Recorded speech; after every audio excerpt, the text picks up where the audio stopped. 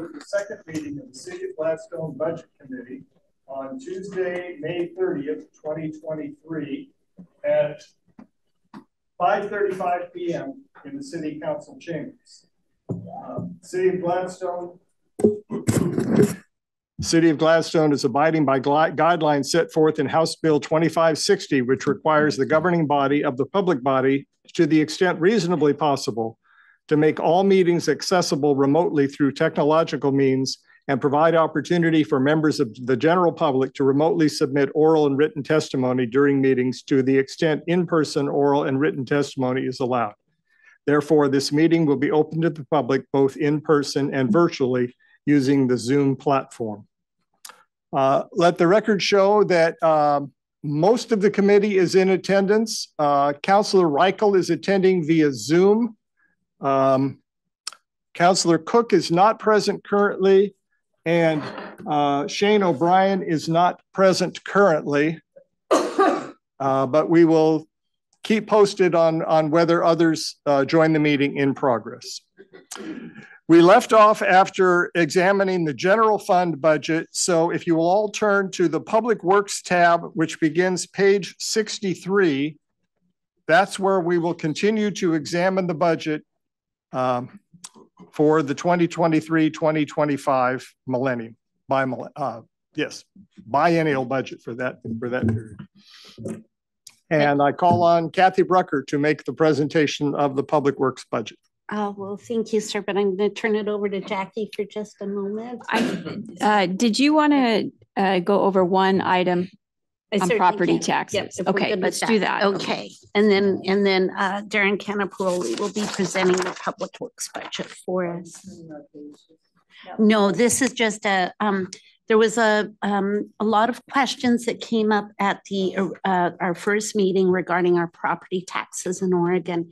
And with having a lot of new budget committee members and council members, I thought I'd give just a really quick rundown on our very convoluted property tax structure in the state of Oregon. Any of us who are taxpayers do recognize that. So what I wanted to share with you is, is um, the property tax structure dates where it started getting going sideways, dated back to measures five and 50 that were voted into law way back in 1990 and 1997, respectively. It's a, this is a brief outline on what the limitations it's placed on local government with the growth and collection of which is one of our major revenue sources, especially for the general fund. The passage of these two measures resulted in one, limiting the total amount that can be assessed on a property to $15 per thousand based only on operating taxes. Bond levies are considered an exception to that cap. Inst- it instituted the permanent rate limit that was assigned to each city or local government based on the 1997 budget and has been frozen at that rate ever since. Gladstone at that time received a permanent rate of 4.8174. Does not change. Again, bond and local option levies are over and above the permanent rate, but they're short term fixes or short term solutions. And the local option levy is also subject to that $15 total tax per thousand rule. It also caused the implementation of the assessed value, reduced the property's real market value from 95, 96 down by 10%, and that became the basis for taxation instead of the real market value. Then growth was capped at 3% of the assessed value, no matter the changes in the real market value. There are exceptions for significant improvements made to the property or if completed after 1997, when it all went into effect, uh, then your assessed value and market value are going to be much uh, closer. This method of measurement resulted in large differences during times of high value growth and no ability to change the true assessed value of the property. Houses of equal market value could have widely disparate assessed values, one built in 95, one built in 98 if you had an increase in your market rates, the assessed values, there is still a wide uh, margin in those. Market value can be reassessed at time of sale or title transfer, but assessed value never changes purely due to a transfer of ownership. The county assessor calculates annually the real market value and assessed value, making adjustments as necessary to comply with these limits of keeping within the $15. Should the applicable taxes exceed those limits, then compression is applied to reduce the total tax bill back to $15 per thousand. Fortunately, within Gladstone, we don't run into compression, or at least we haven't in the last six years that I've seen. If real market value on property falls below the assessed value, such as the 2008 recession, annual taxes will decrease. So that, of course, means that our 3% guaranteed increase does not materialize. It can definitely fall below 3%. However, as soon as recovery starts, the rate will accelerate back to an adjusted assessed value as quickly as the market dictates, resulting in increases far higher than the permitted 3% sometimes, not only mm-hmm. on our end, but as the property owner, what you may all of a sudden see a, a big jump in your property taxes that way. So there was significant interest in property tax reform in the state to address these disparities, but there's not much mention of it lately. It seems to have just fallen out of favor with the legislature. And then finally, uh, if you have any further questions about it, I was in poking around on the Clackamas County Assessment and Taxation website today, and they contain excellent information in there as far as further in-depth explanation as to how this all works, how you can even look at it in correlation to your own personal property and see the difference in your real market value versus assessed value, et cetera, and how they calculate out these tax rates. So are there any questions about that? I hope it was just, you know, a little bit of background information. This did occur so long ago now. We're not putting as detailed information into the budget on it because it would be redundant year after year after year until they make some changes that hopefully will be of value to include. And I'll just add one thing. We're working on the Gladstone city budget. So that permanent tax rate that applies to the city budget is uh, the portion of your property tax that goes to the city of Gladstone. Mhm. But since we live in a county and a variety of other districts around us, including school districts, college districts, and so on, your total property tax bill includes several other entities that are paid taxes. But what you've described here uh, relates to, well, the the assessed value portion applies to all these various rates that are applied to your bill. Correct. Uh, but the portion of the budget that we're working on, it only relates to the city of Gladstone's permanent tax rate and the levy rates that we have adopted in the past. Correct. Okay. Thank you. So then the city of Gladstone, it, it never goes over fifteen dollars per thousand. And that's accounting all the things Maren was talking about, are up the Clackamas County. That's you as the property owner. It is not to go over fifteen dollars per thousand unless there are bond levies or local option levies. And then it can top. go over the fifteen. Yes, with a bond levy, a local option levy must stay within the fifteen, Okay. or you go into compression on that. Do we have currently? Uh, none? Uh, just the, the two levy. As far as for the city of Gladstone itself or Gladstone property owners, I couldn't answer you that one. There is the school, the very large school one. I think twenty twenty-seven. Unless they go out for another bond. Yes, yes, yes. It would definitely sunset those. So it's not that it's automatic that another one would be in place. That's up to the voters again. But if it does fall off, would we actually see it on that yellow thing we get from the county? It would, Yes. it would be less. You would see an actual. Okay, I, I have, because I've never seen that, so I'd like to see that. Not many of us have, right? Right. So anyways, if there's any other questions I can answer on that, please let me know because it is a, it's a, it's a messy situation.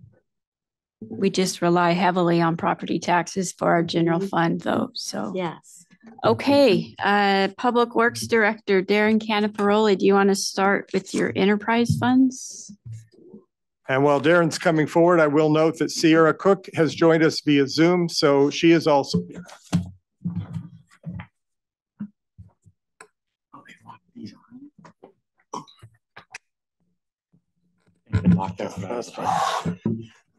Okay, so we'll start with, can you all hear me? Uh, we'll start with the Roads and Street Fund. Some noteworthy, items for this fund. Uh, we replaced over four hundred traffic signs and two hundred street name signs in the last biennium. Uh, completed the annual slurry seal and crack seal per our pavement management program. And also replaced nine ADA ramps around John Wetten Elementary. Uh, some budget highlights, annual slurry seal, crack seal, that will keep going. Uh, replacement of about approximately hundred and fifty traffic signs and street name signs. And then a pedestrian crossing at Webster Road and Cason Road. Line item wise, everything is pretty much status quo. Some, some areas went up a little bit, some went down. Most of the ones that went up were the, uh, inflator, four percent roughly, uh, inflator on most of those. One of the note, noteworthy items, if, if you look at the, under capital outlay, the equipment replacement fund. If you noticed, uh, at, in last year's biennium, that was at six hundred and twenty-two thousand. And at this year, it's reduced down to two hundred and fifty thousand. What we did there is we were getting a large amount of money in that pocket that we didn't really need to have there. And we have taken that money and moved it down into the system improvements and project line item. And then we're going to hold tight for now with the dollar amount that is there. Um, if you look at uh, capital outlay on page 88, that will show the uh, projects that we'll be doing and anything that we'll be spending out of the, um, the equipment replacement fund. Uh, currently, we're going to be replacing a dump truck That'll be split amongst all enterprise funds, so not one fund will be spending or will be paying for it at, all at once. And then you can see the, pa- pavement management programs there. The Webster Cason Crossing is there. Um, and then the other funds that uh, currently aren't um, designed to be spent going forward. Any questions on streets? Um, remind me what you can use your SDCs for on, um, on page sixty-four. I think is where I saw it. Oh, down at the very bottom. Yeah, So that's on new construction, I'm, if I'm not mistaken, An expansion. and expansion, yeah, and that would be the same in uh parks, streets, storm, sandy, water. but what can you, what, so I'm saying, I'm thinking it's your fund. What, what can your department use that on? Um, if we were installing new infrastructure, we could use it on that. Oh, okay. Um, if we were going in, um, trying to think of another situation. Items identified in the master plans. Yeah, in the transportation safety plan, Mhm. uh, that would be in there. Um, and it lists all that stuff. I believe it lists all that in the Mhm. TSP, so. Mhm. So any kind of, uh, infrastructure improvement. Or expansion, Related yes. to expansion. Not maintenance, Oh, okay, right? Mhm. System development is to build capacity. okay. So uh, you can allocate a portion of a cost towards a project for that. It's a formula based to do that. But typically, system development charges have to be towards something new or enhancing, expanding something. Okay. I got a question I didn't, I didn't see in here. Um, I just see where it says sidewalk funding, one percent of the gas tax. And what, what about like when we put those ADA corners in, like at the school? Who, where's that money That, come that from? was done with a grant through, uh, the county. Oh, so that was how we That was- all those in. Okay. Right, and then we'll be using a portion of that for the, uh, Webster Cason Crossing. Of that money that was for the sidewalk. Correct. ADA. Okay, I just didn't see it mentioned, so I didn't know how, how those come about. Thank you.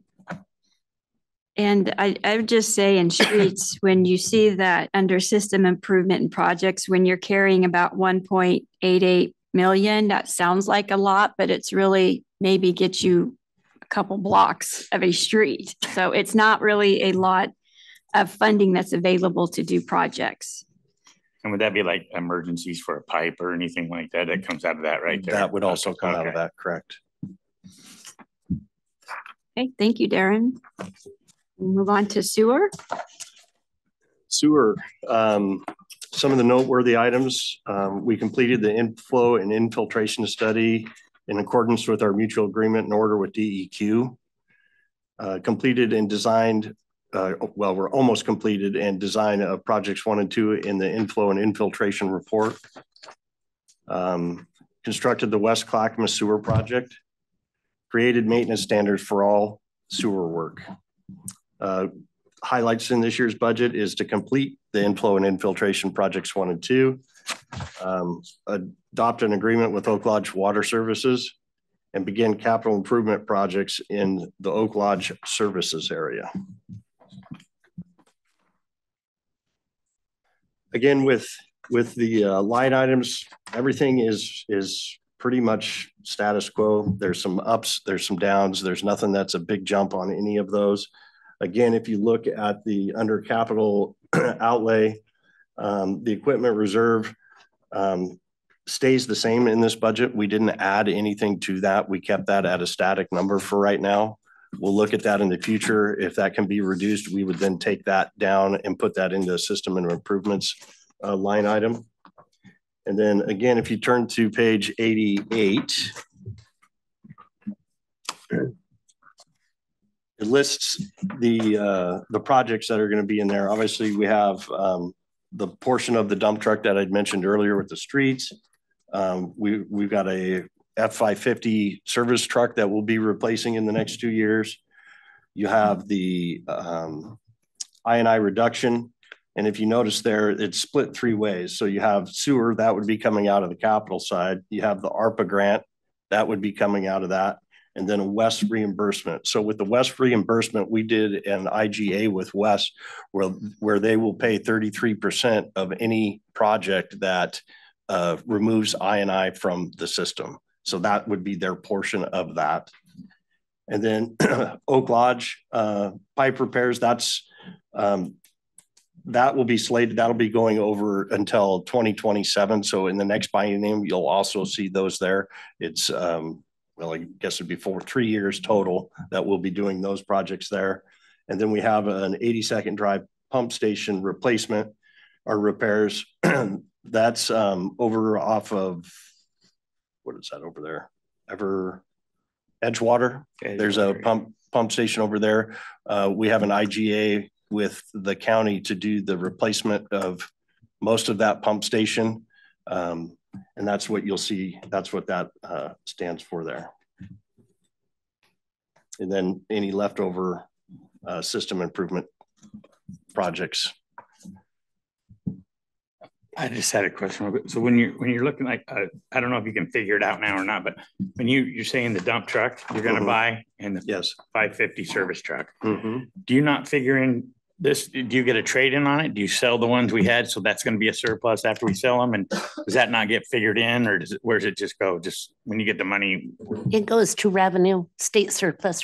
Uh, we refer to it as surplus property revenue. So for public works or for the? Yes, city? it would come into the fund that sells it. Okay. Yes. And just to add one thing, the city council members have the advantage of having recently had some uh, work sessions that talked about the I&I project and the IGAs connected with that. I&I is inflow and infiltration. It's when stormwater and sewer water mix because of the way the pipes are designed or, or, or problems with the pipes. Stages one and two of dealing with that problem look at the identified areas that we can do sort of quick repairs on, relatively quick. Uh, we identify them, we had engineering design the fixes, and then we will do them. The later stages of that process have to do with fixing and repairing the, the pipes underneath the streets. Uh, and that's a, a, future project part of the same process. Um, so, uh, but when we talk about I and I, uh, you'll see it both in the sewer budget and the stormwater budget, and that's what it's referring to. And that also um, with those two projects, we'll complete our MAO with DEQ by doing those two projects. We'll no longer be under that order with DEQ. Any other questions? I have one. The sewer fund is money coming in from our our our water bills. Am I correct? Or this is general fund going into sewer. No, this is coming in, it's billed out on the utility billing and this is the sewer portion. So none of this is part of our, our, um, our general fund going into sewer. Not at all. That's what I thought. Okay.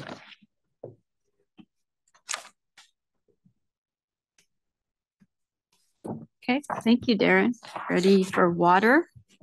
Okay, water, some no- noteworthy items from the last biennium.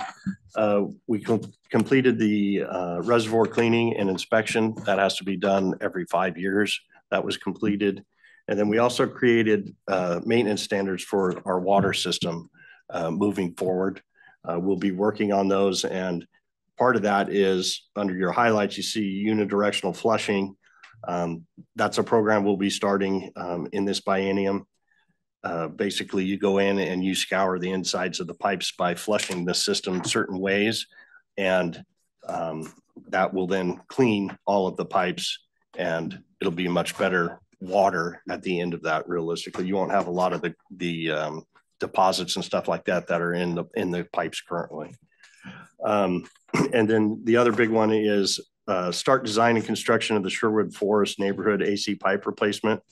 That neighborhood, um, all of the um, water infrastructure is out of the streets. None of it is in the middle of the street. So if we ever have any water main breaks or anything like that, it's in somebody's property or in somebody's driveway or something like that. Um, it's old asbestos line pipe that needs to be moved to the street. That's what that project is.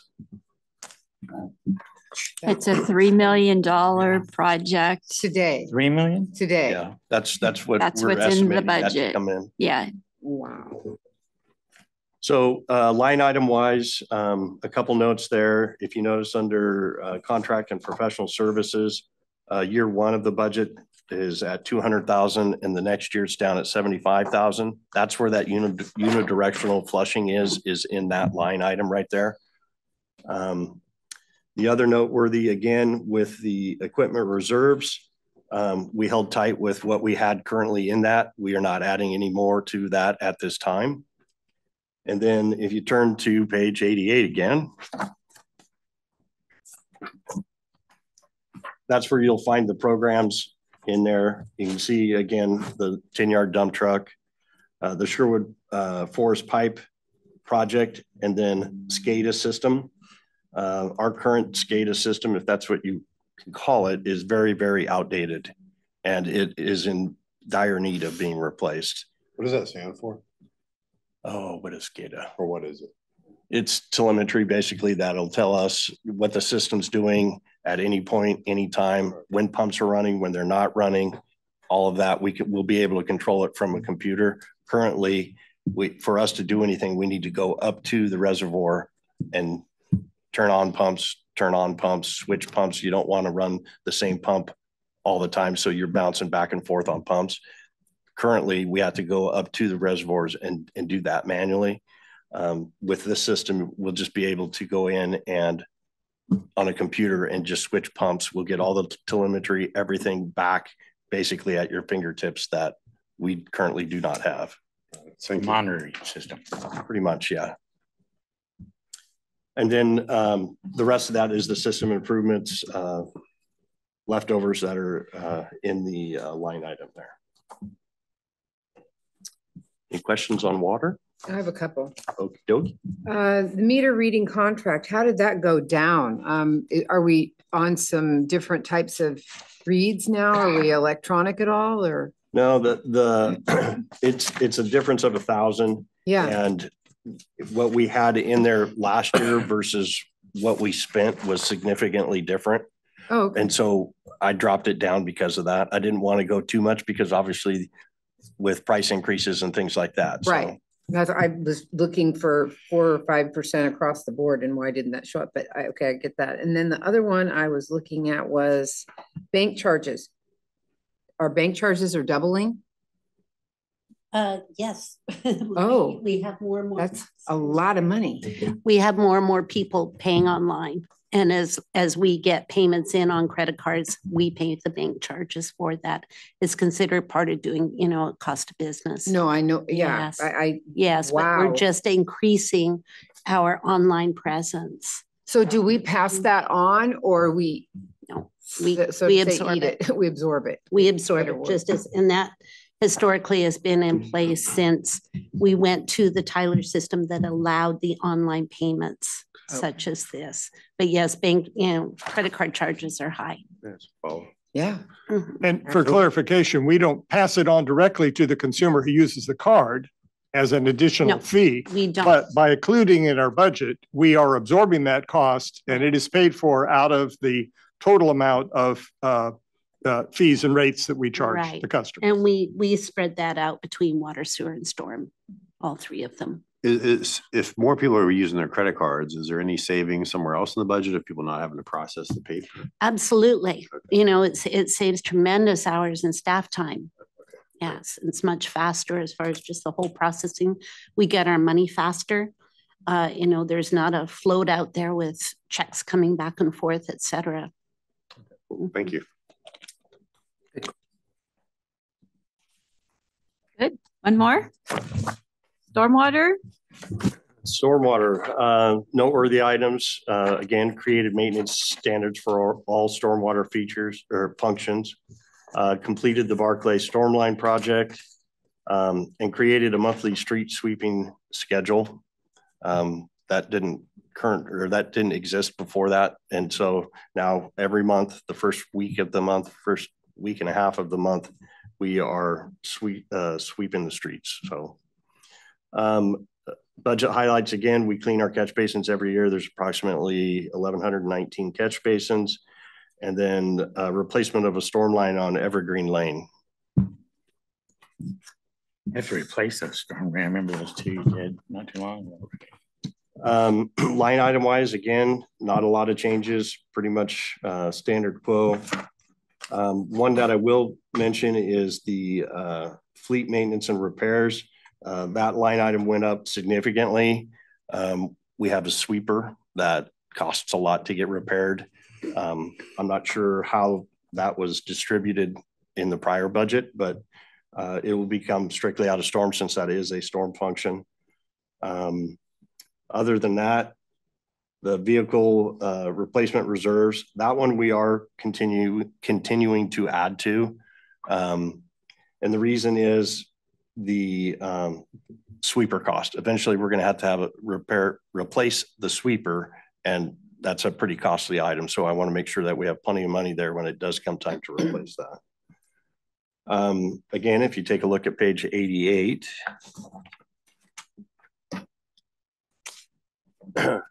You'll see there the ten yard dump truck that we talked about. You'll see the portion of the um I and I project there. And then you'll see the uh Evergreen Storm Line Replacement Project in that line item as well. Any questions on storm? I think the important takeaway is we often get people that say, where's the rate increases going for our water, sewer? And as you can see, within the next two years, if you subtract those to be determined projects, there's about an eighteen million dollar investment going into our infrastructure. And that's, that's what we are going to message to the, uh, to the public the next two years is because now you can actually see the projects that this money is being contributed towards in capital. So the, it appears to me that there is a one point five million dollar increase between twenty twenty-one and twenty twenty-three and twenty twenty-five. 2020, 21 to twenty-three and twenty-three to twenty-five. That is all coming in from the ratepayers. It's all, uh, as you can see what the revenues are above. We receive the storm revenue that comes in on the utility bills this for stormwater fees. Um, there's a small amount for SDCs. We are getting a contribution from ARPA towards the, um, I&I project.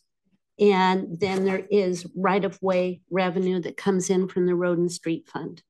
And we're losing one of those, am I correct? Losing one of what? The right-of-way fees, I thought we were losing, one of those was Um, down. One of, one of the, uh, contributions that we were receiving from Oak Lodge. Okay. Yes. No, I take that back. I'm No. sorry. It was, uh, NCCWC. So on page eighty-eight, a lot of those, three, four, six, eight, uh, the to be determined, what, is there a, a method or something you figure out to be determined? Do you have to get more information? Or I mean, in other places you just estimate, like we were talking about earlier, and then these are, have to be determined. So what's the difference with estimating from last year? Waiting to determine, I just. These are actual dollars. I mean, estimated dollars within the budget from, um, you know, um, uh, available funding. But we want to definitely identify it because if it is not expended this year, if there is not a project that the council approves that it will be spent on, we want to be sure we have it identified so we roll it into the following year. Okay. And uh, these are the projects that we can realistically get done in two years. So then we're starting a six-year capital plan. So these to be determined will be then forecasted out. Okay. So the funds they'll will get spent. Yes. Okay, Yes. All right. And this is where we come back and refer to our master plan to Oh, also. okay. So these dollars will be financing the master plan going forward. Gotcha. Okay, thank you. So that's why you'll sometimes see a different amount in the fiscal year budget because of a particularly, uh, one particular project is, you know, we, we have planned to do it or forecast to do it in a particular fiscal year. And we balance those out knowing how much time, how much, you know, uh, resources we have to do them in a given year. And so a, a long-term six-year capital improvement plan helps us plan ahead. So we're not trying to do everything at once or we're not trying to go a year and not do anything, but we're spacing them out accordingly so that things get done on a regular basis. And improvements that require a previous project to be done, that previous project gets completed before you do the next phase of a similar type project. Right. And it's similar to pay as you go, which that's why we don't have a bond. We don't go ask for twenty-five million dollars for the taxpayers to pay back towards us. We budget what we can realistically get finished in the two years. Um, and the last six years when we were here, we spent a lot of time doing master plans because we didn't have them. And we did rate increases for five years. And now we're at a point where the money is starting to come in and we can get the projects done. And maintain our rate increases basically at just an inflationary cost of living basis. Um, one of the noteworthy items was creating a monthly street sweeping schedule. How was that done before a schedule was developed? Um, well, that was before I was here, so I don't really know, but it sounds like it was mostly, they'd go out, it, most of it was in the winter time. They didn't do a lot in the summer.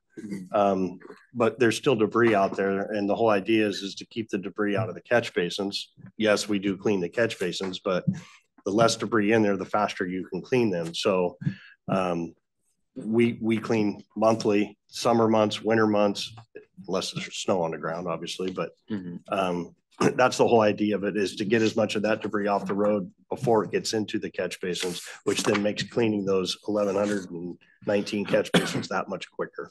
Preventative maintenance. Correct, Mhm. exactly. Yeah. It's really reduced our flooding in Gladstone considerably. Okay, those are our enterprise funds. Thank you, Darren. Yep, thank you. You ready, chief?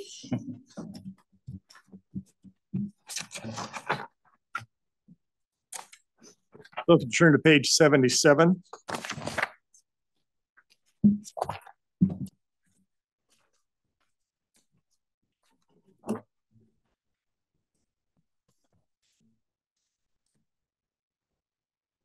Okay, we're here to talk about the, uh, the levy, the police, uh, communications, uh, fund levy.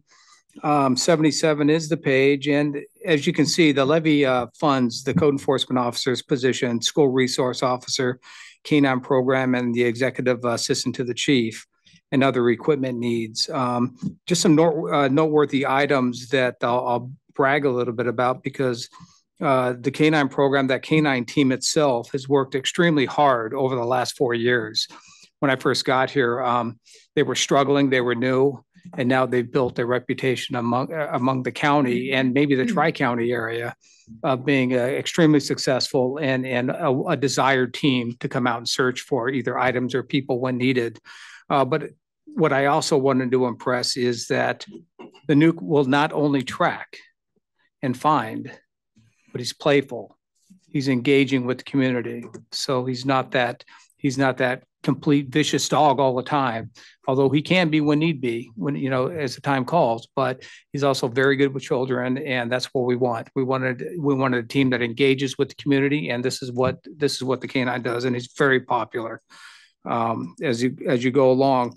With that, you'll see in, in, in some of the noteworthy highlights too is the truck. It's a different platform than normal, uh, than what many of you have seen around the metro area, but it's very effective for the equipment, for Nanook itself, the venting system, whether it's heat or air conditioning.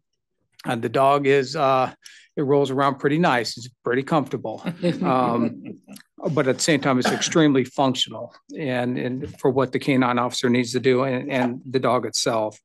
Uh, below, you'll just see some of the material, the shields that are required for, for a lot of our work uh, that we train on and stuff. These are very expensive items, but they last a while. So the ballistic shields and, and the SRO program, as you can see on the, on the next page, um, the SRO program is critical. Uh, uh, we when I came here, we brought the philosophy that was already here, but uh, you know, kids are the future here.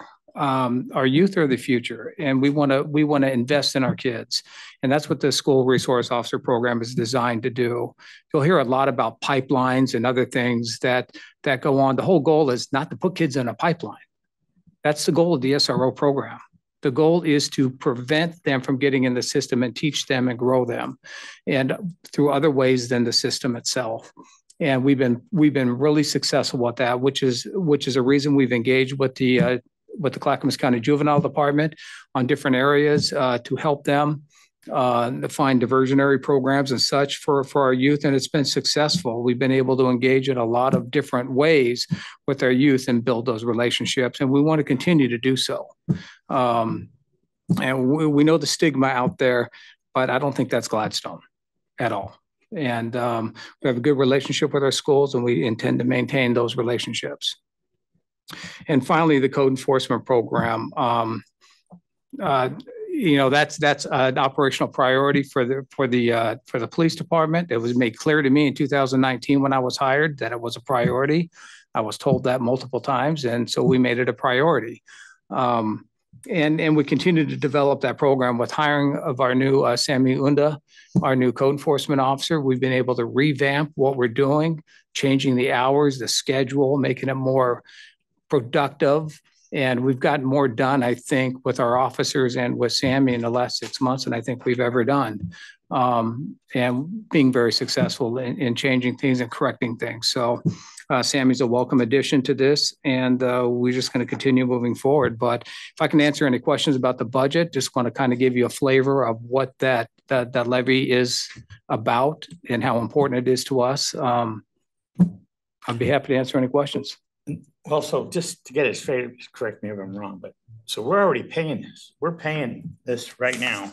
All we're all we're gonna vote on is we keep paying it or not. Renewal. No, no increase or anything. No increase, just a renewal. There you go. So we're already doing it. So it's just Yes. say, yes, we're gonna keep doing it. And we can get all that. what we got Hopefully, Now. hopefully that's the case, yes. And what's important for the budget committee to understand that, you know, once you adopt this budget, if for some reason it does not pass, we will lose these services in twenty twenty-four. Yes. And that's really what we wanted to make sure that everybody understood. This budget is assuming that we're going to renew the police and fire levies. Thorn? On? Uh, You're on. Okay, sorry. Speak away. His light was green, so it totally threw me off. I got a red. Am I on? Um, so on the school resource officer program, you talk about the success of it. Like what, do- are there like metrics you all track, like and compare year to year? I'm just curious, like on the diversion and. You know, yes, so there's metrics that are kept like on the diversionary program, but that's through the juvenile department and they'll send us uh, records of that. So we may receive um, uh, the diversionary program may receive one or two referrals a month, maybe. Um, and with that, they'll work with them through the juvenile department, get them in the community here in Gladstone as far as community services provided and with some mentorship with other adults. So Thank you. you bet. So I just like to add for our budget committee that, um, as you can tell, working on this budget, we don't have any jurisdiction over this, the, the school district and their funds whatsoever, none. But the two strongest things we have, the city has going between the city and the school district, one is our resource officer, the other being, um, the uh, classes that you can sign up for. But we had a meeting with the school board here a couple of months ago, and it was overwhelming how supportive they are with that uh, that part of their job of the school resource officer coming over to the schools and meeting the kids and knowing the kids and being a constant presence and not a scary presence. And it's it's it's something that's just vital, I believe, in our community. Um, it's a help, not a hindrance, and it needs to stay. So I can't ask enough. Anybody watching, anybody listening, you know, our this it's really important that this levy passes and that we can keep that communication with our kids open and honest. So thank you for doing that. Welcome. I have a question. Sure. Um, is there any plan to make, um, police activity more easily searchable? I, I get a lot of questions about what, you know, oh, this happened on that particular corner, what was going on? You know, is there any plans for?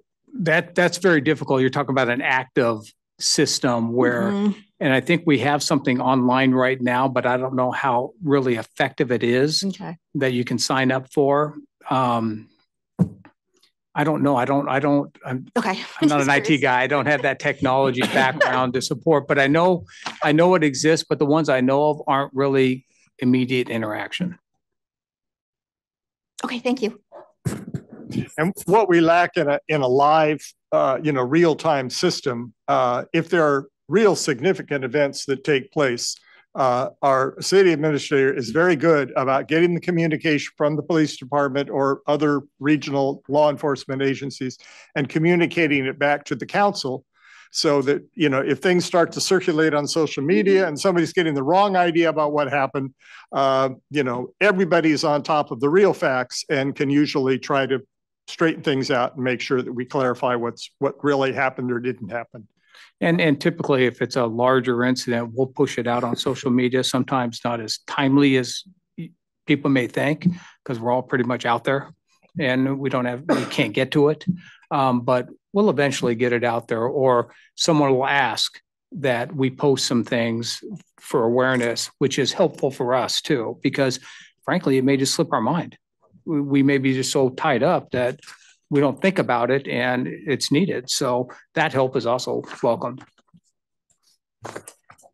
So bottom line, don't be afraid to put a yes for the police and fire levy sign in your yard. Well, I can't make a comment on that, but you guys feel free. Thank you, chief. Yep. Want to do fire? Sure. Okay. Okay, so going on to the next one, the, on page eighty-one, the Fire and Emergency Services Levy Fund, the revenues and expenditures here.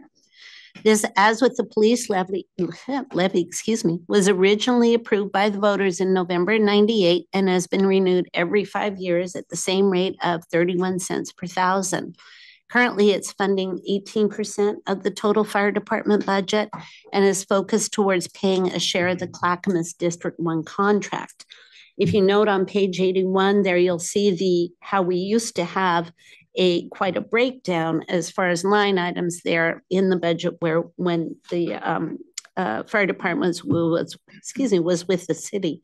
However, now you see it's all focused into contractual and professional. And that, of course, is going to Clackamas Fire District One.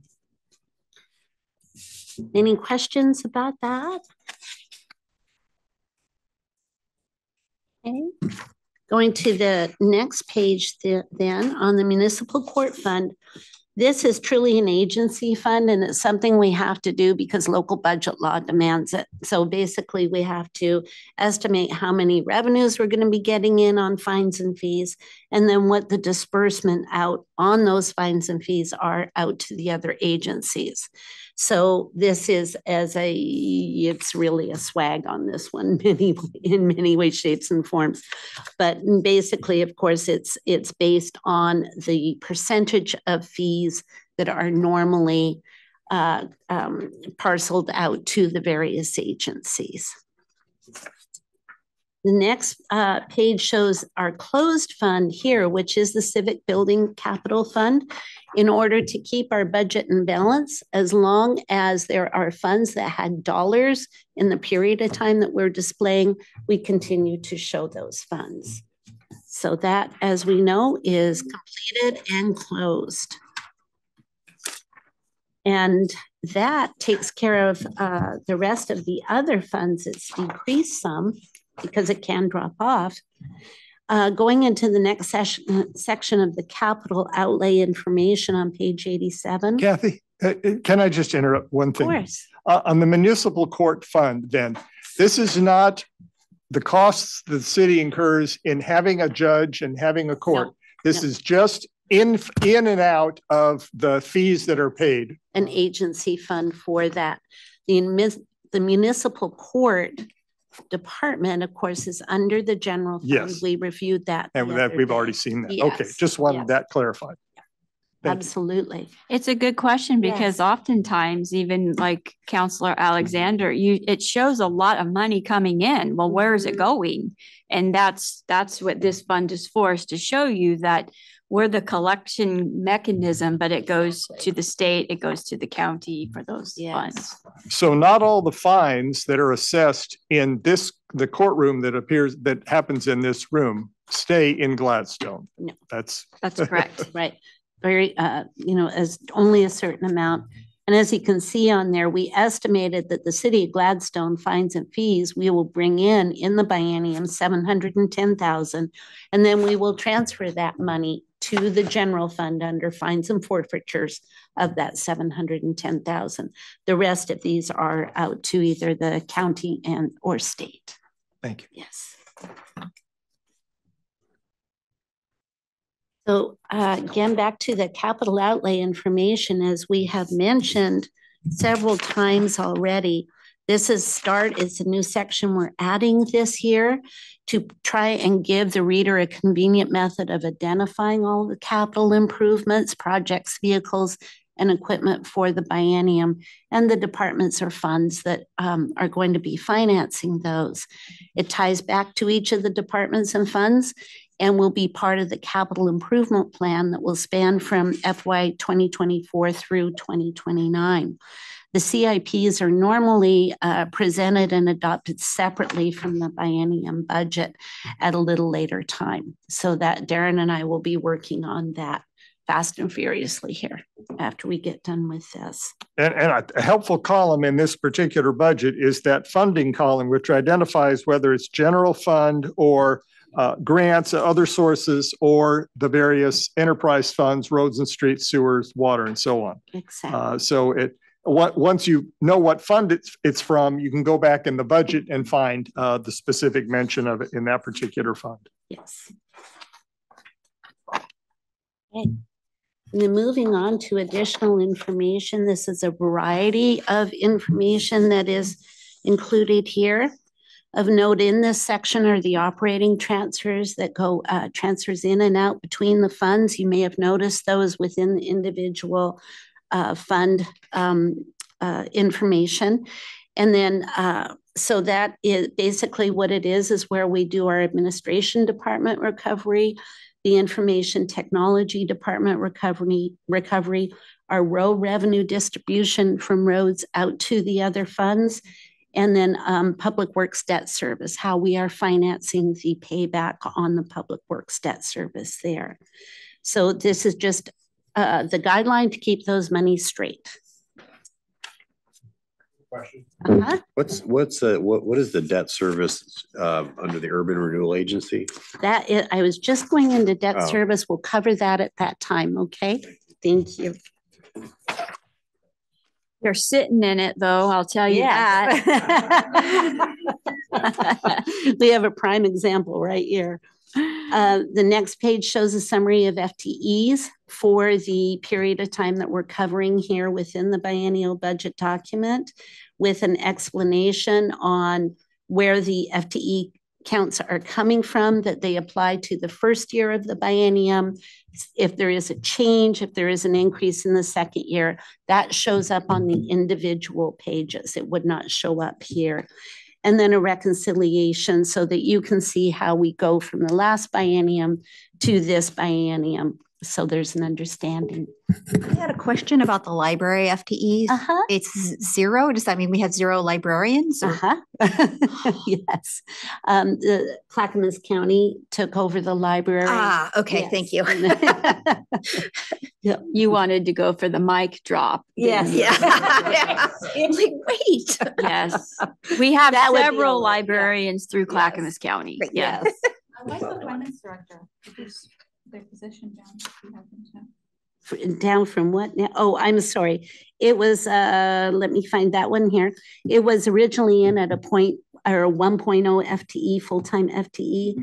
And, uh, we have determined that uh, because of the amount of work here, that likely we could probably, uh, entice somebody to come in at a 0.80, 30 hours a week, basically 32 hours a week to where they have, uh, you know, a little less or a little more time. Nice. Yes.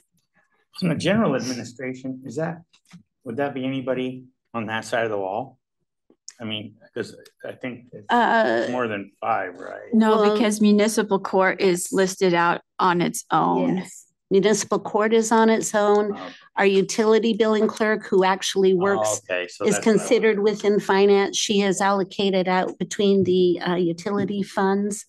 Uh, IT, information technology is separate. Um, But we are a very Yes. lean organization. We keep getting back to that term because Mhm. we are very lean. mhm. And then it goes into Kathy? the, yeah, Sorry, um, with the reduction of the finance director to 0.80, is it still a benefited position at 30, 32 hours? yes, Thank you. fully benefited, prorated. Yeah, Based you. on the hours worked, yes. Uh, then the next few pages go into, uh, rep- uh, show you the salary schedules that we have currently for the bienniums. Um, non-represented, uh, AFSCME, and then the, um, GPA.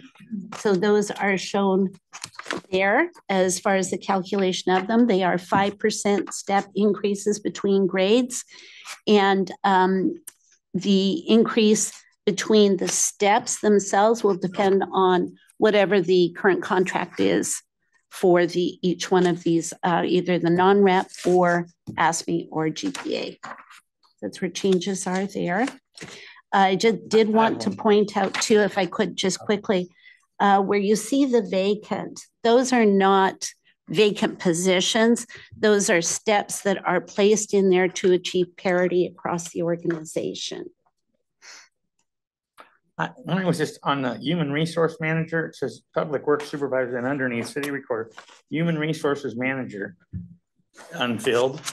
Yes, Okay, so what, how, we have a human resources, We contract for That's services right the now contract. for that position. Yes. so it doesn't get shown the money that goes out for that or?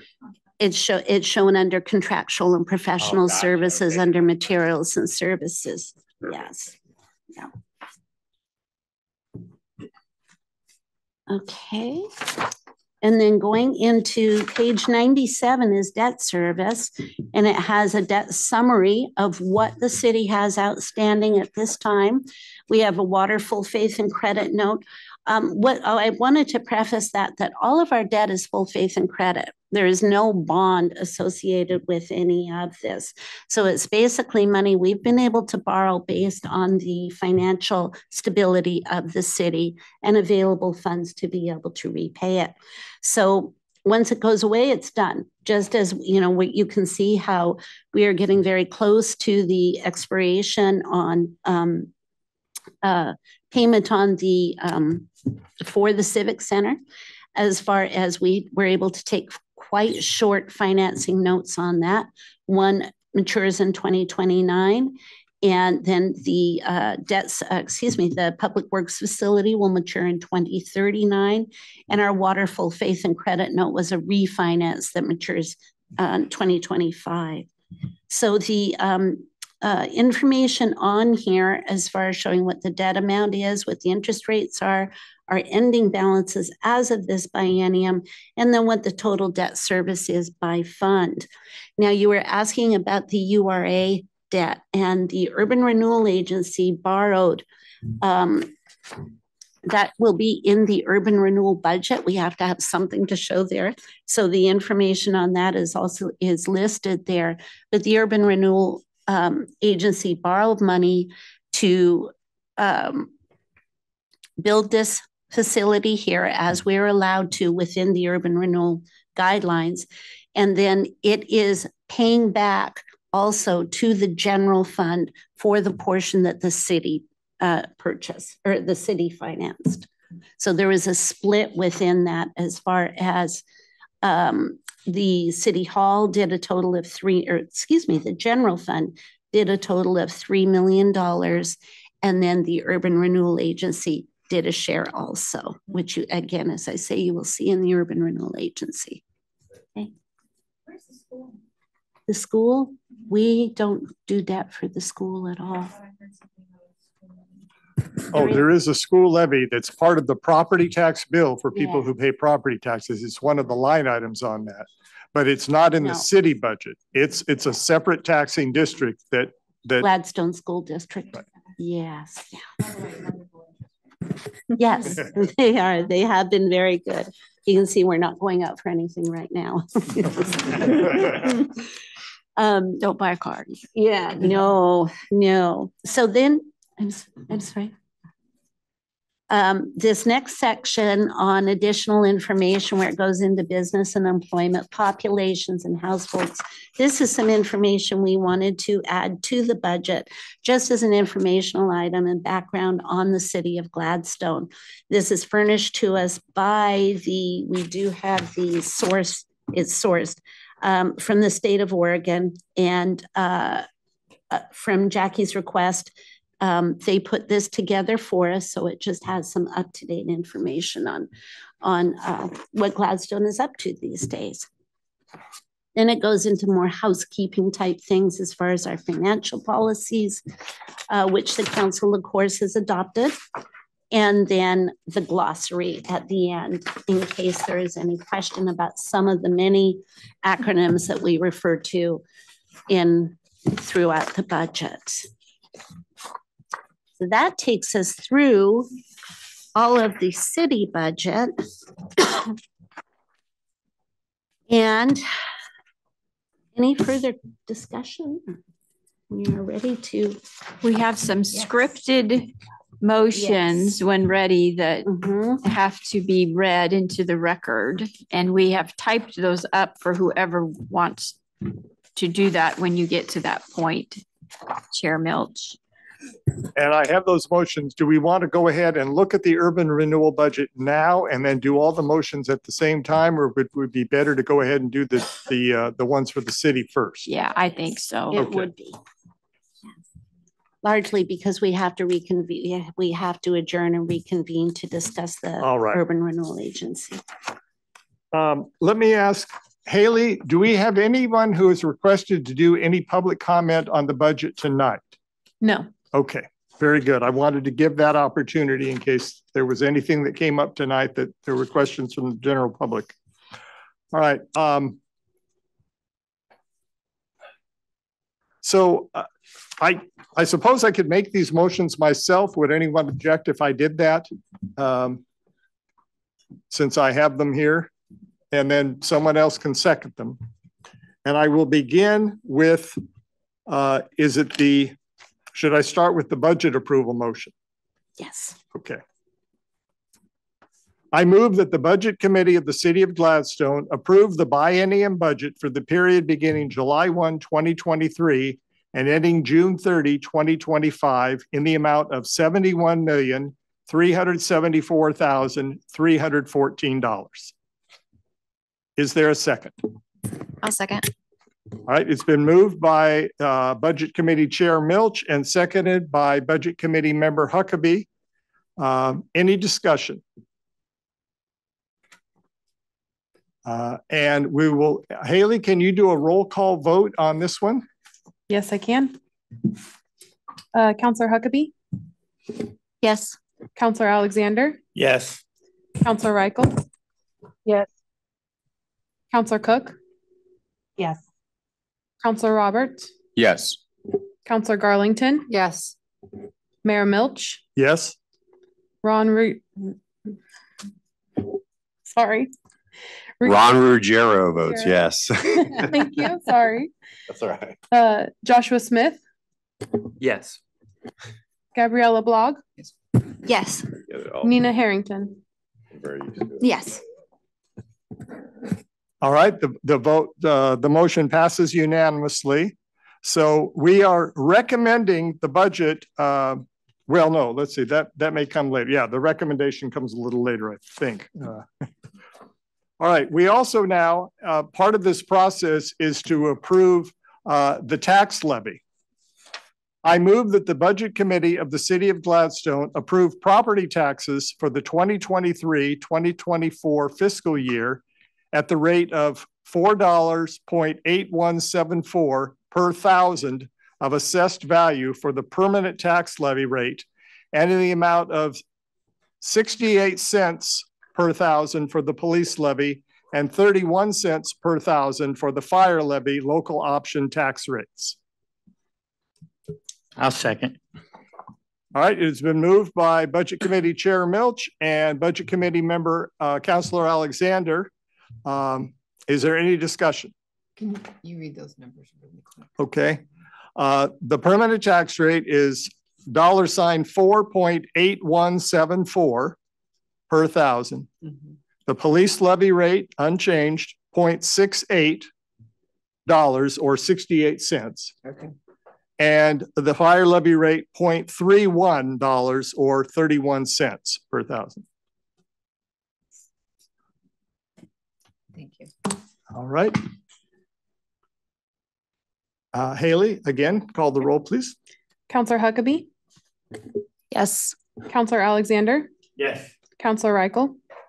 Yes. Councilor Cook, Yes. Councilor Roberts, Yes. Councilor Garlington, Yes. Mayor Milch, Yes? Ron Ruggiero, Yes. Joshua Smith, Yes. Gabriella Blog, Yes. Nina Harrington. Yes. All right, the tax, the first tax levy motion passes as well. Um, If I may interject, the, each fiscal year has to be. uh, each, adopted it's the fiscal separately. year is the thing that's changed. Yes, Yeah. yes. I'm looking, at it, that's the same paragraph. It is. Ah. Now, we have the same motion for the 24-25 fiscal year, just so if you're listening carefully to the difference. I move that the Budget Committee of the City of Gladstone approve property taxes for the twenty twenty-four slash twenty twenty-five fiscal year at the rate of four dollars and eighty-one point seven four cents per thousand of assessed value for the permanent tax levy rate and in the amount of sixty-eight cents per thousand for the police levy and thirty-one cents per thousand for the fire levy local option tax rates. I'll second. All right, is it moved by uh, Budget Chair Milch, seconded by, in tandem by uh, uh, committee members, uh, Councilors Roberts and Huckabee. Any discussion?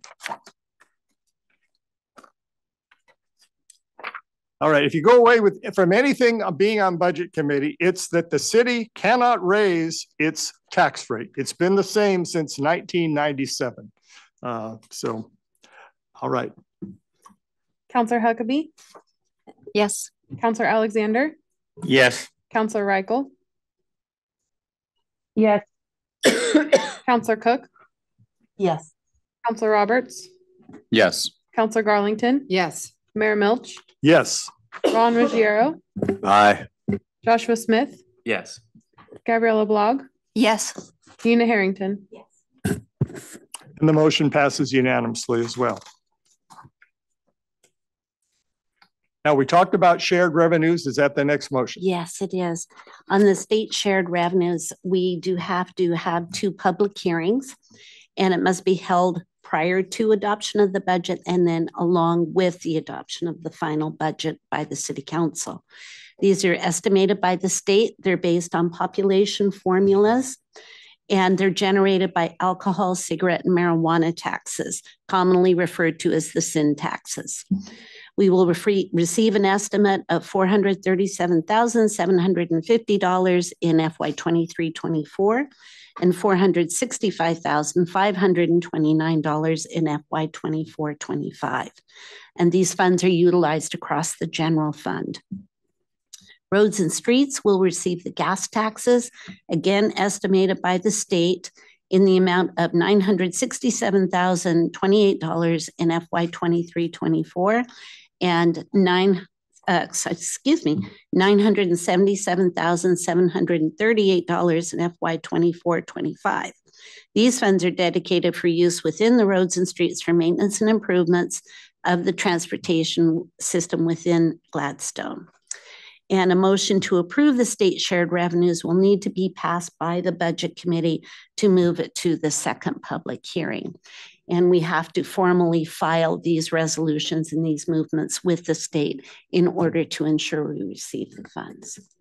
So the individual fiscal year amounts that you gave appear in the budget Yes. that we have approved Yes. and, uh, or that we have recommended for approval. Uh, and the total amounts of those over the total biennium are the figures that I will be reading in this motion. I move that the Budget Committee of the City of Gladstone approve the use of state shared revenues estimated in the amount of nine hundred and three thousand, two hundred seventy-nine dollars for the general fund, general purposes, and one million, nine hundred forty-four thousand, seven hundred sixty-six for the road and street fund maintenance and improvements for the biennium budget for the period beginning July 1, 2023, and ending June 30, 2025. Is there a second? I'll second. All right, it's been moved by Budget Chair Milch, seconded by uh, Budget Committee Member Councilor Alexander. Any discussion? Okay, call the roll, please. Councilor Huckabee, Yes. Councilor Alexander, Yes. Councilor Reichel. Yes. Councilor Cook, Yes. Councilor Roberts, Yes. Councilor Garlington, Yes. Mayor Milch, Yes? Ron Ruggiero, Yes. Joshua Smith, Yes. Gabriella Blog, Yes. Nina Harrington. And that motion passes unanimously as well. Thank you, Haley, for calling the roll for us. Um, and uh, so we, uh, we will have a second public hearing. Will, will the city council be the one to conduct that hearing then at a future meeting? Yes. Okay. At the time of the adoption of the budget. All right. So I believe we have done the motions required for the, uh, for the city's budget. And we now adjourn the city budget committee meeting and re-adjourn as an urban renewal agency buddy, budget committee. And we will turn to section to page, uh, well, there's a cover page first and, oh, there's a whole section with new numbers at the back. So turn to the URA tab in your, in your binder. Okay, to the Honorable Mayor, members of the Gladstone City Council, citizen members of the Gladstone Urban Renewal Agency Budget Committee, citizens of the City of Gladstone. The purpose of GURA is to administer the statutory tax increment revenues for funding the goals and objectives of the Gladstone Urban Renewal District Plan through designated projects within the district. I am pleased to present the 2023-2025 proposed biennial budget for the Gladstone Urban Renewal Agency. The Gladstone City Council adopted a goal to create a robust economic ecosystem that supports, maintains, and grows all businesses and to revitalize Gladstone's downtown to be a vibrant and inviting place. To that end, the GURA budget reflects an allocation of hundred thousand dollars towards economic development that will include analyzing a potential future amendment to the existing urban renewal plan to add projects, expand the boundary, increase maximum indebtedness, and complete other plan updates. For historical purposes, in June 2018, GURA authorized indebtedness for capital projects for the district and approved the 23rd Amendment updating the project descriptions under resolution number UR 65. These authorizations allowed the city to fund the construction of a new city hall and police station. The new civic center was completed within budget, on time, and ready for occupancy in April 2020. All related debt service is provided out of the GURA revenues through 2029. In fiscal year 2022-23, GURA budgeted to demolish the previous City Hall building as an extension of the Gladstone Civic Center project, and this was completed. Urban renewal creates excellent places, revitalizes downtown cores, and spurs economic development through public investments that stimulate private growth.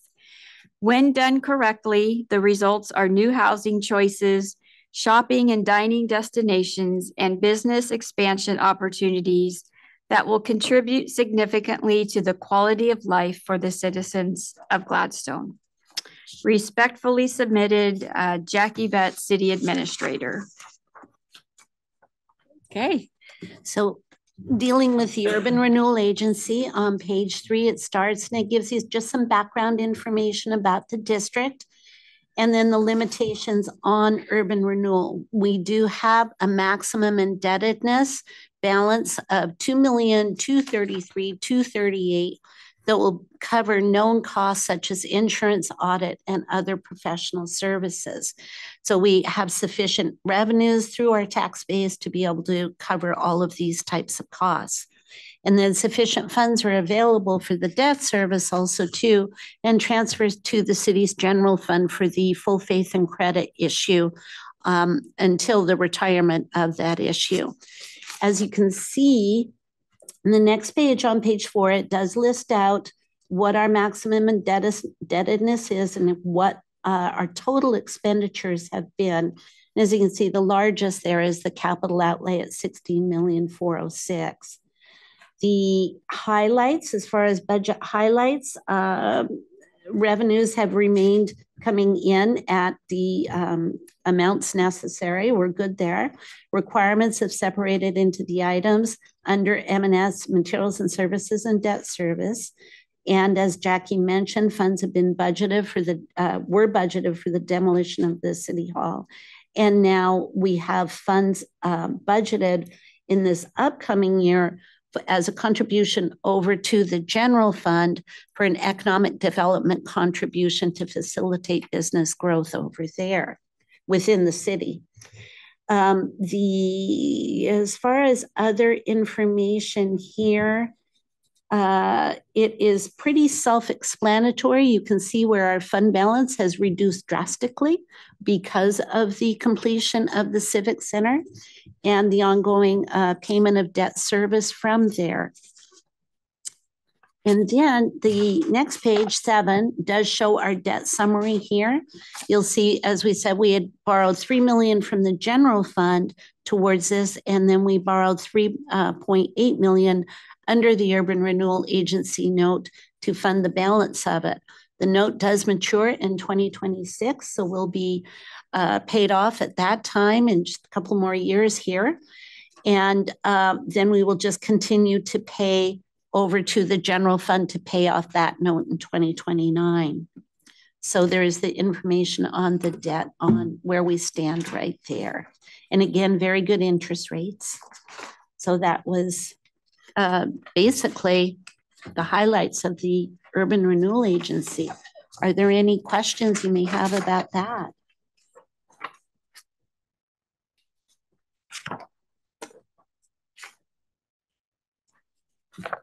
And if you look on page nine of this section, there is the map with the yellow areas showing the defined urban renewal uh, district.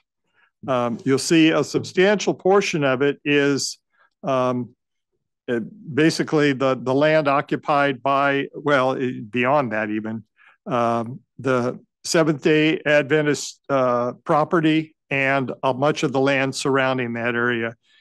At one time, I think when this district was originally established, it was thought that that was going to be an area where there would be a substantial amount of urban development in Gladstone. A specific project actually was in mind.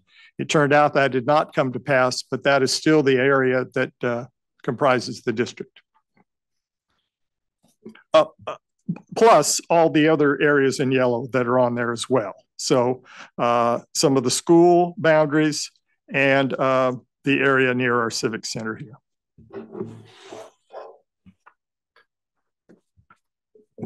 Uh, the other thing that I might point out also too, as far as use of the Urban Renewal Agency funding, we also contribute over to our audit services and our insurance cost as a whole with the city. There is a contribution there. The Urban Renewal Agency, of course, has to go through its own audit every single year. So there is definitely a separate cost there. And um, other than that, and then we do have some money slated for contractual and professional services in case there is a review or necessary costs that um, are anticipated there. I have just a background question. What is, what is the insurance protecting under the urban renewal? This would be as a general contribution towards property liability, uh, you know, just our general insurance for the city, not dealing with uh, workman's compensation because we don't have any employees within there, but for property liabilities. Okay.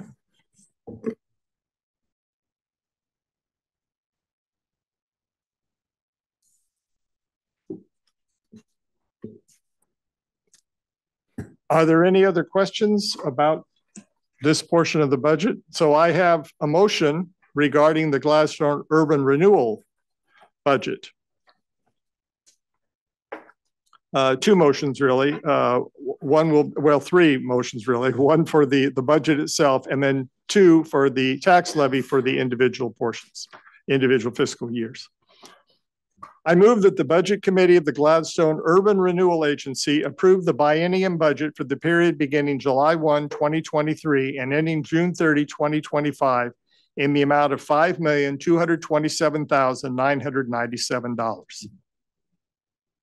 Is there a second? A second. All right, it's been moved by Gura Budget Committee Chair Milch and seconded by Budget Committee Member Huckabee. Um, Any discussion? All right. Haley, will you call the roll, please? Councilor Huckabee, Yes. Councilor Alexander, Yes. Councilor Reichel, Yes. Councilor Cook, Yes. Councilor Roberts, Yes. Councilor Garlington, Yes. Mayor Milch, Yes. Ron Ruggiero, Yes. Joshua Smith, Yes. Gabriella Vlog, Yes. Nina Harrington. Yes. The motion is passed. Uh, next, I have two tax levy motions. I move that the Budget Committee of the Gladstone Urban Renewal Agency approve property taxes for the 2023-2024 fiscal year by option one plan slash 100% from Division of Tax. If I get a second, I'll just ask for a brief explanation. I'll second. Okay. And if you could just tell us what that, what the option is and what that means. There are two methods of assessing an urban renewal rate. And this is the method that the city chose at the, when they originally formed it. And I believe the other one would be a specific dollar amount, um, you know, X amount dollars per thousand. But this is the option that is, uh, has been chosen and how we receive it. Okay. I believe also too that this gives us a little more latitude as far as um, the source of funding coming in. All right. Any questions on this motion? Haley, will you call the roll, please? Councilor Huckabee, Yes. Councilor Alexander, Yes. Councilor Reichel, Yes. Councilor Cook, Yes. Councilor Roberts, Yes. Councilor Garlington, Yes. Mayor Milch, Yes? Ron Ruggiero, Yes. Joshua Smith, Yes. Gabriella Blog, Yes. Nina Harrington. Yes. The motion passes unanimously, and this is the uh, tax levy motion for the second year of the uh, biennium budget. I move that the Budget Committee of the Gladstone Urban Renewal Agency approve property taxes for the 2024-2025 fiscal year by option one plan slash one hundred percent from division of tax. A second. It's been moved by Gura Budget Chair Milch and seconded by uh, uh, Budget Committee Member Roberts. Any discussion? And let's take a roll on that one too. Councilor Huckabee. Yes. Councilor Alexander. Yes. Councilor Reichel. Yes. Councilor Cook. Yes. Councilor Roberts. Yes. Councilor Garlington. Yes. Mayor Milch. Yes, Ron Ruggiero. Yes. Joshua Smith. Yes. Gabriella Blog. Yes. Nina, Er- Nina Harrington. Yes. so that motion passes as well. So we have completed all the required motions. That's all the required business of the Budget Committee. What we have done is referred these budgets to the city council. The next step in the ongoing process, other than that other hearing on uh, the one portion that we had to look at, um, is, uh, is for actual adoption of the budget by the city council. That will happen prior to the June 30 deadline. And I think at our June 9th meeting, uh, is it Well, June twelfth meeting, okay. Um, thirteenth, sorry. thirteenth. Somewhere in early June, our first, our regular meeting here in the month of June. agenda. Oh, good, thank you. Are there any other items of business that we need to do uh tonight? I have nothing further. Okay. I just like to say